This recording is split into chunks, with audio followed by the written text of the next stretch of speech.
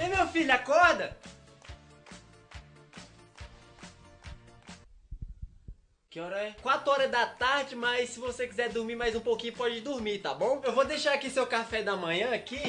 Qualquer coisa é só chamar a mamãe, tá bom, meu filhão? Filhão. Lindo. Bora, bora, acorda, infeliz, condenado! Mamãe, deixa eu ficar só mais 5 minutinhos. Demônio, Exu. Ah não, mãe, por favor, só ficar mais 5 minutinhos aqui, apaga essa luz aí, na moral. 5 minutinhos? Pera aí, são 5 minutinhos aqui. Pera aí. Graça,